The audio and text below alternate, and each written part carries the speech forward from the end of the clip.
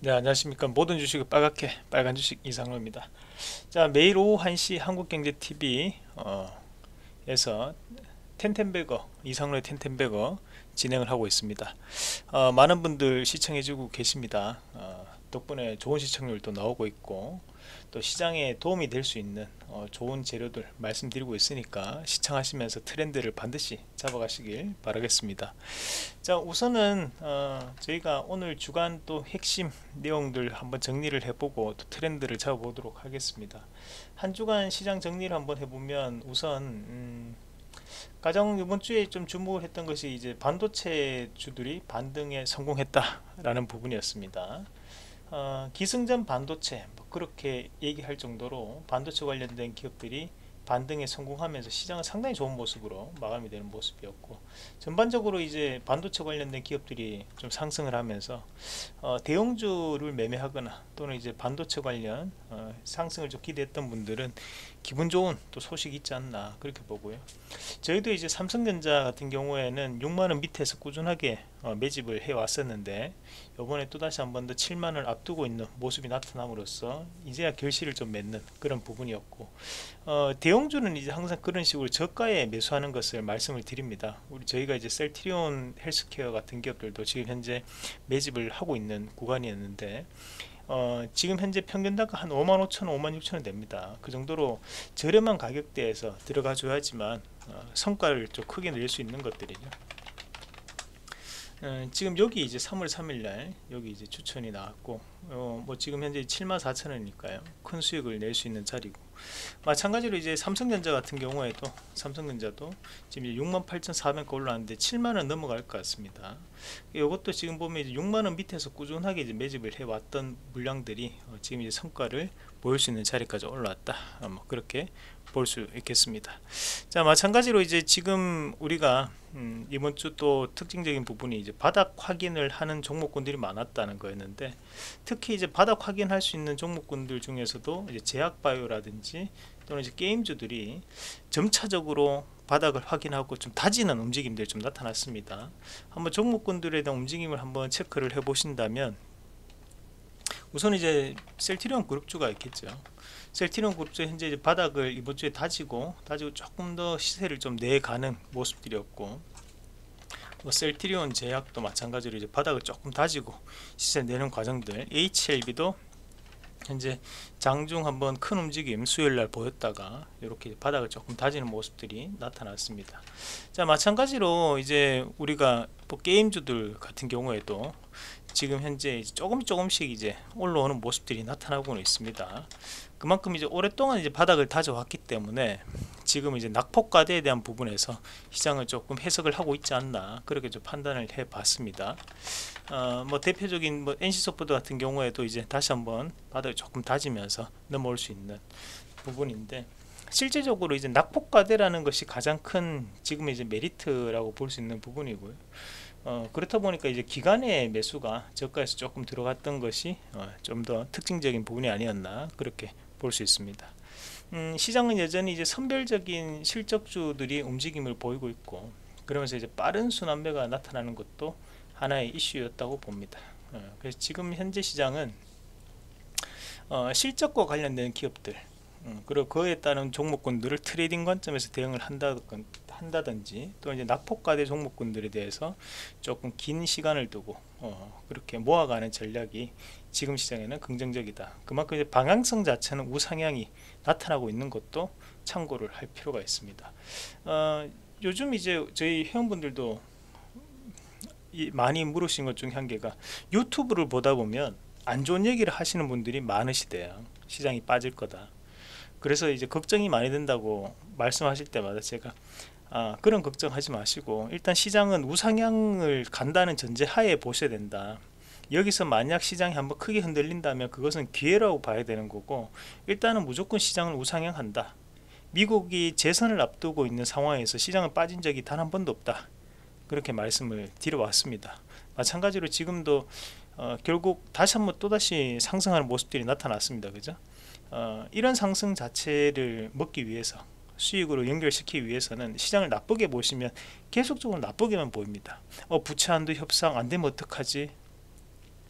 바이든 갑자기 쓰러지면 어떡하지 뭐 별일도 아닌 것 가지고 어, 지금 심각하게 생각할 수 있는 상황들이거든요. 그렇게 이제 생각하지 마시고 일단 시장 무조건 우상향인데 거기에서 만약 흔들린다면 흔들린다면 그것은 오히려 기회로 봐야 된다. 뭐 그렇게 시장을 읽어 가시면 어, 도움이 되실 겁니다. 이번 주에 이슈가 됐던 부분들 한번 체크를 해보도록 하겠습니다. 어, 우선은 이제 저희가 월요일은 방송이 없었습니다. 그래서 화요일부터 정리를 한번 해봤는데 화요일은 음식료 관련된 기업들이 움직였습니다. 그 우리가 지난주에 이제 곡물 관련주 움직일 때 음식료 관련주를 봐야 된다 했죠. 왜냐하면 어, 지금 현재 체감 물가가 대단히 많이 올랐습니다. 하지만 실질적으로 곡물 가격이 오른 것은 아닙니다. 그 말인즉슨 곡물 가격은 오르지 않았기 때문에 원자재 가격이 오르지 않았고 대신에 어, 우리가 체감적인 물가만 올랐기 때문에 그 중간 마진 폭이 상당 부분 확대될 수 있다. 그에 따른 수혜를 받는 것이 바로 음식료 업종이라고 말씀을 드렸습니다. 그러면서 지금 농심도 사상 최대 실적을 나타내면서 좋은 모습 보였고 바닥권역에서 뭐 대상이라든지 또는 빙그레 같은 기업들도 어, 좋은 모습을 돌려내는 모습들이 나타났습니다. 다만 이제 우리가 이런 음식 업종을 공략을 할 때는 명심하셔야 되는 것은 이 종목군들이 대부분 거래량 자체가 많지 않습니다. 그렇다 보니 이런 종목군들은 좀 더 긴 시간을 두고 어, 대응을 하시는 부분이 좀 필요하고요.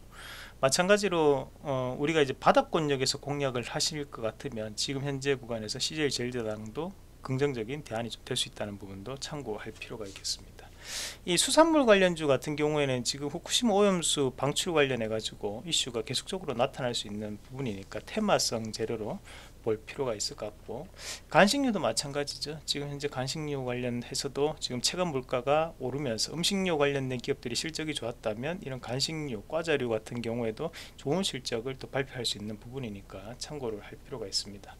자 그리고 이제 우리가 수요일 목요일은 이제 가상현실이나 디스플레이 관련된 부분에서 움직임이 나타났는데 우선 이제 디스플레이 관련주들 뭐 LG 디스플레이라든지 전공정 그리고 후공정 안에서에 대한 좋은 움직임도 보이면서 우리가 이제 야스, 인베니아 뭐 이런 LG 그룹 관련해서 또 디스플레이 관련된 기업들이 움직였고 추가적으로 이제 삼성 관련된 디스플레이 관련주들도 움직임은 다 나타났습니다.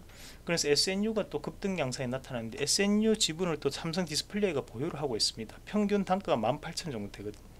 그 정도로 이제 이 SNU에 대한 움직임 어, 상한가도 가기도 했지만 어, 충분히 앞으로도 성과는 나타날 수 있다는 부분도 참고를 할 필요가 있습니다.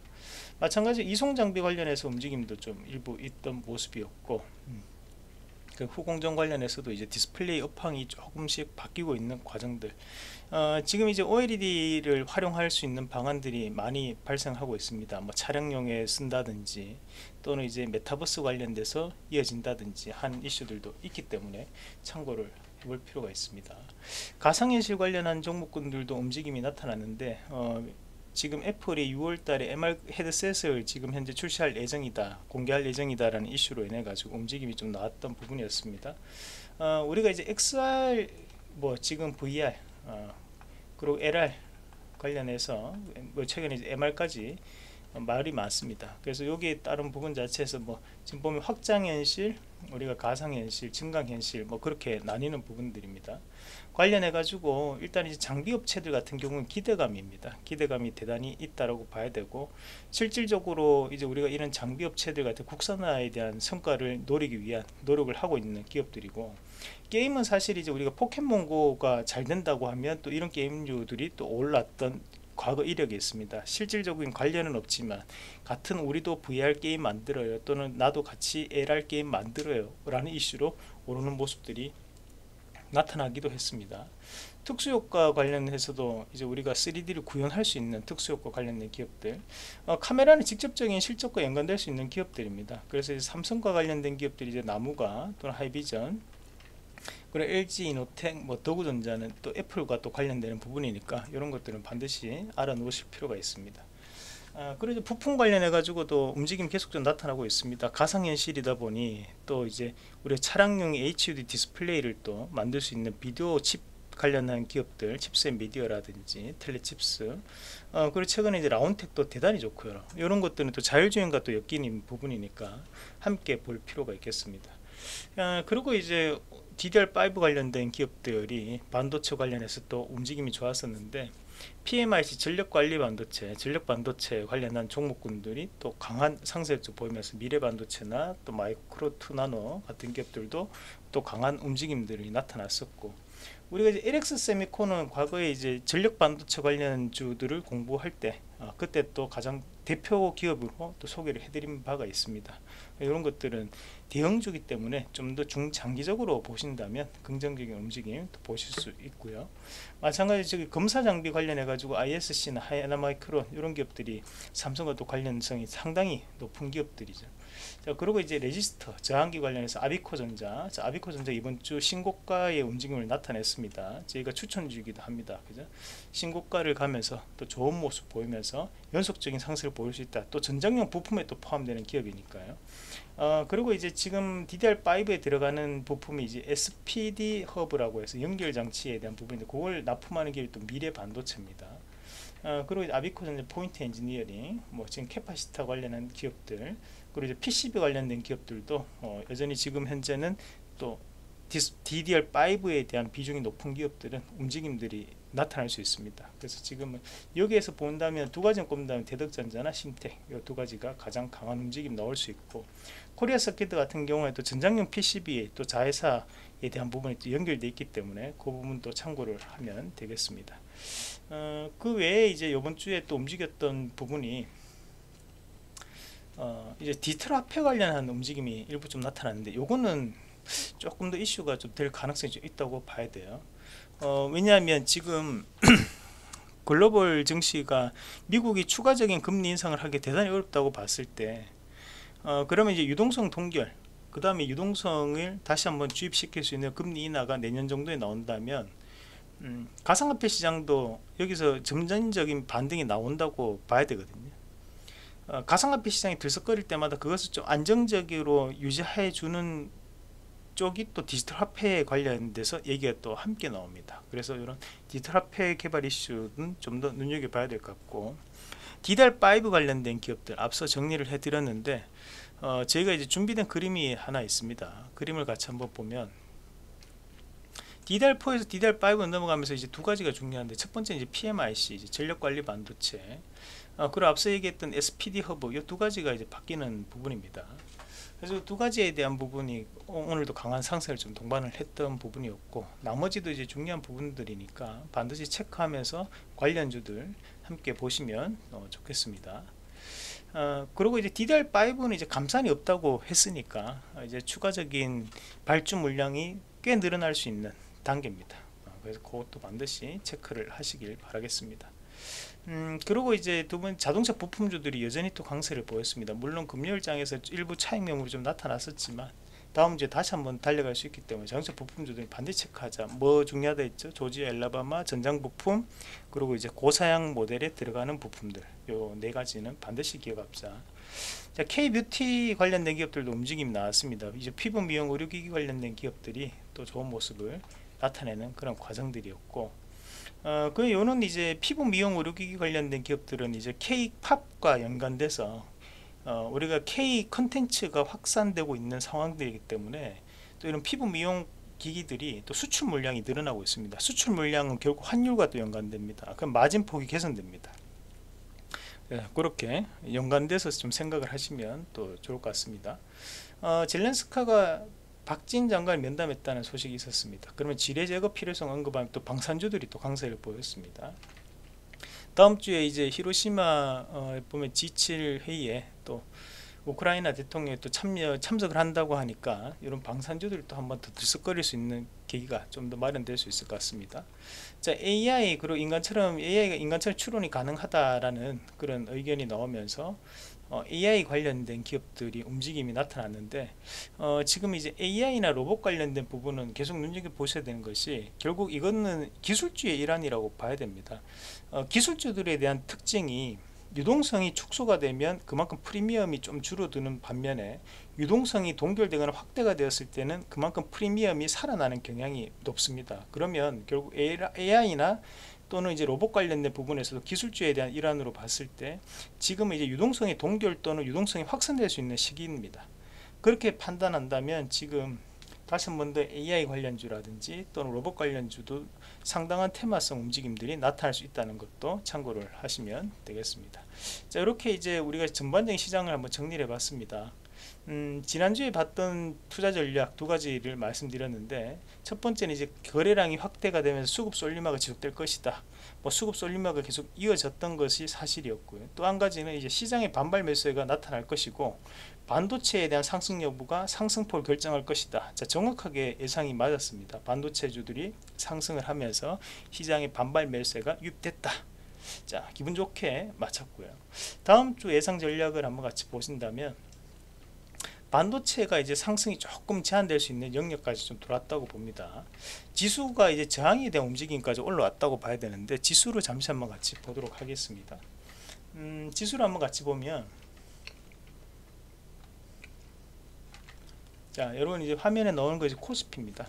음, 코스피인데 자 고가 권역이 지금 한 2,500 60포인트 정도 한 2560포인트 정도가 이제 갭이 떨어졌던 그 구간이다 보니까 어, 그 위에 있는 구간부터는 이제 물량 자체를 좀 소화를 해내야 되는 2560부터 한 2600포인트까지는 물량을 소화를 해내야 되는 자리이기 때문에 손바뀐 물량이 조금 들어올 수 있습니다. 만약 이제 저기까지 올라간다고 하더라도 시장이 강하게 올라간다기 보기보다는 물량을 좀 더 소화를 하면서 어, 이런 옆으로 이제 행보 내지 조정을 좀 보이면서 움직임이 나오지 않을까 그렇게 예상을 해봅니다. 그래서 외국인들에 대한 수급이 유입된다면 그때는 어, 긍정적으로 추가적인 상승을 위한 잠시 쉬어가는 단계 뭐 그렇게 어, 해석을 할 필요가 있습니다.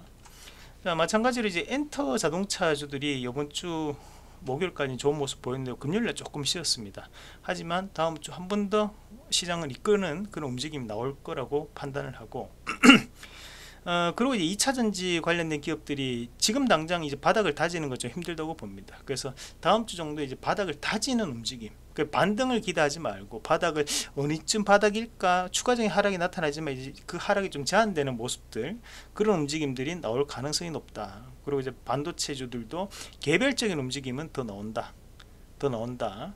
저는 PCB도 괜찮다고 봅니다. 그, 그런 종목군들도 함께 참고를 하시면서 DDR5 관련된 기업들 또는 이제 전력 반도체 어, 또는 이제 PIM 반도체라고 해서 F PIM 반도체가 있습니다. 그 관련된 종목군들 좀 특화되어 있는 반도체 관련된 부분으로 판단하시면 좋겠다. 차량용 반도체 좋습니다. 자 최근에 이제 자율주행 관련해서도 내기세 좀 들어가고 있으니까 그거까지 다 참고를 하시면 되겠습니다. 지난주 추천주가 3개였는데 YG 엔터테인먼트, 인성정보, 그리고 서진 오토모티브 해봤습니다.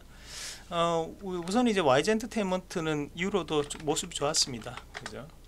음, 저희가 이제 그 월요일부터 뭐 빠져서 출발했지만 월요일에 2%, 그 다음날 또 11%, 그 다음날 9%, 아, 이번 주 상당히 좋은 모습이 나타났고, 어, 인성정보 같은 경우에는 어떻게 움직이는 보면, 음, 자 화요일 날 뭐 지금 마이너스 1%로 시작했지만 어, 또그 다음 날 또다시 8%그 다음 또10% 오르면서 또 긍정적인 움직임 또 나타내는 인성 정보였습니다 자 서진 오토모티브는 어, 화요일 월요일 당일날 당일날 0%의 출발 0.3% 출발해 가지고 6%까지 장중 고점 찍고 어, 마이너스 1%로 하락 전환했지만 다시 한번 더 장 후반에 어, 나중에 금요일장에서 좀 돌려내는 움직임이었기 때문에 어, 다들 조금 수익권에서 움직임이 나왔던 종목군들이 많았습니다. 어, 서진 오토모티브는 이제 월요일날 당일날 당일날 이제 6% 움직임이 나타났는데 미처 대응하지 못하셨다면 요거는 뭐 다음 주에 또 성과를 보일 수 있는 차례입니다. 그죠? 그리고 이제 YG 엔터테인먼트나 어, 지금 앞서 인성 정보는 대부분 어, 저거는 뭐 그냥 보유만 해도 수익권이 넘어가는 종목군데 다들 20% 이상 올랐기 때문에 수익 축하드리고 음, 뭐 이렇게 시장 자체가 이제 개별주들 같은 경우에도 어, 이렇게 금방 또 좋은 소식이 나오니까요. 거기 따라서 매매를 하시면 되겠습니다. 쉽게 뭐 추격 매수 안 하더라도 충분히 가능합니다. 자 이렇게 이제 한번 정리를 한 주간 다 해봤습니다. 저희가 매일 오후 1시에는 한국경제TV 텐텐베거 이상로의 텐텐베거 진행하고 있으니까 시장의 흐름을 함께 확실하게 즐겁게 잡아가 보시길 바라겠습니다. 그럼 오늘 내용은 여기까지 하고 다음 더 좋은 또 내용 준비해서 여러분들과 함께 만나 뵙도록 하겠습니다.